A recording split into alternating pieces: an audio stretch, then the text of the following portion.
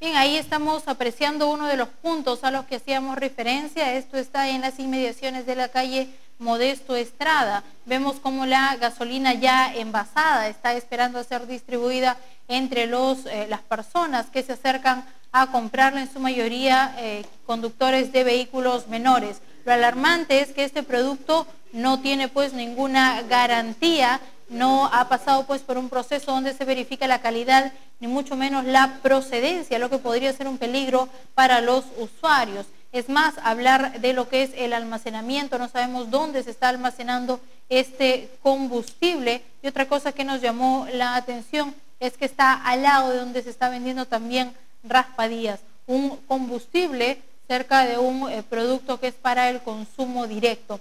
Como les mencioné, este es solamente uno de los puntos aquí en nuestro distrito, ya que existen otros en las inmediaciones de la urbanización Mariscal Castilla, así como también en la urbanización Santa Teresita. El único grifo formal es el que todos conocemos y estos puntos de venta informal han venido proliferando incluso este que recién hemos podido apreciar hace algunos días, un llamado de atención para las autoridades respectivas. Aquí vemos incluso cómo la camioneta de Serenazgo pasa, pero no le llama la atención ni eh, observan nada respecto a esto. Sabemos que hay entidades pues eh, que es su jurisdicción